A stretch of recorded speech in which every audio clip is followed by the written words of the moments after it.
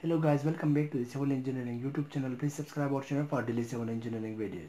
Today our lecture is how to find the self weight of any structure members. So in this lecture, we are going to solve some example to know that how we calculate the self weight of any structure member, either it may be slab, column, footing or beams. So the self weight of any structure member can be calculated easily by this formula. Self weight is equal to the density multiplying with the volume of the structure members. So in short we can write it gamma into volume. So if you know the density that which material is used in your structure member and the volume of your structure member then multiplying these two you can get the weight of your structure member. For example I will explain this weight with the help of examples. For example let's suppose this is the slab this is the slab and we want to find the weight of the slab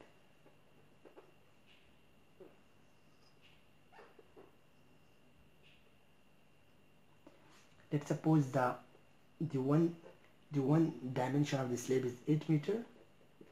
Similarly the other one is also 8 meter. And the height of this slab is considered as 0.15 meter or we can say is 15 centimeter. So how to know the self weight of this slab? And this slab is being supported by the columns. You can see. And we want to know that how much the self weight of this slab acting on the columns. So to find the self weight of this slab what should we do? Self weight we can do it by multiplying the gamma the density of the material and the volume. So the slab is a reinforced concrete slab it is the RC, RCC slab. Reinforced cement concrete slab. And we know that the density of the reinforced cement concrete is 2400 2400 kilogram per cubic meter. So this is the density of the reinforced concrete. So by multiplying the density with the volume we will get our weight for this slab. So 2400 is the density. And the volume of this slab is multiplying the multiplying the 8 meter with the 8 meter with the height.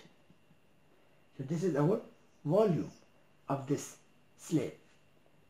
So 8 into 8 into 0.15 because volume is actually the multiplication of area in the height. So this is the area and this is the height. So multiplying all the three dimensions we will get the volume. So by multiplying all these quantities we will we get the value of 23,040 kilogram this is the self weight of this slab acting on these four columns. So we can say 23 ton. 23 ton is the self weight of this slab of this reinforced cement concrete and it should be taken by these four columns respectively. You can see here it is being supported by four columns. So in this way you can find the self weight of any structure member. I will also now calculate the self weight for the beam and column. Now let's consider this is any column reinforced cement concrete column a square column and the dimension of this column the height of this column is is a 10 meter and the two, two cross section dimension is 0.6 meter and 0.6 meter these are the geometry of this column. The cross section is 0.6 and 0.6 it's a square column. 0.6 and 0.6 meter. And the height of the column is 10 meter. So we want to find the self weight of this column that how much weight of this column is. So we know that it, it is the multiplication of density and volume. Similarly in this case is the reinforced cement concrete column RCC column.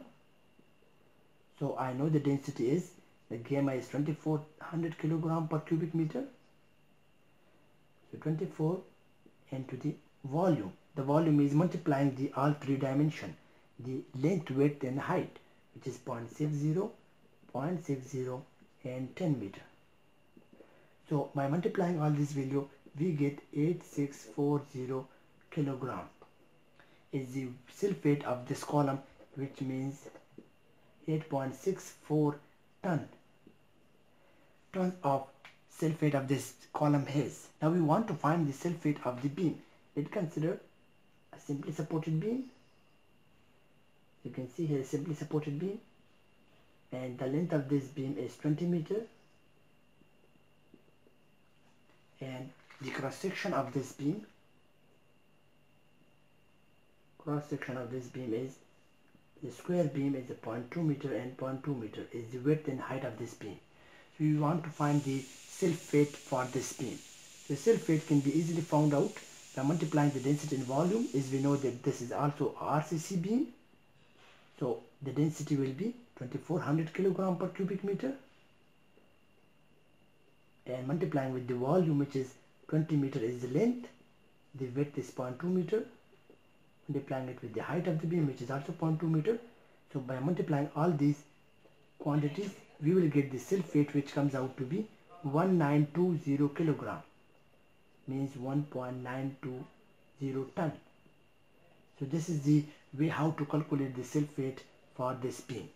Hope you guys understand that how to find the weight for any structural member. First you should know the two quantities you should know the density of material from which your structural member is composed of and the volume of structural member.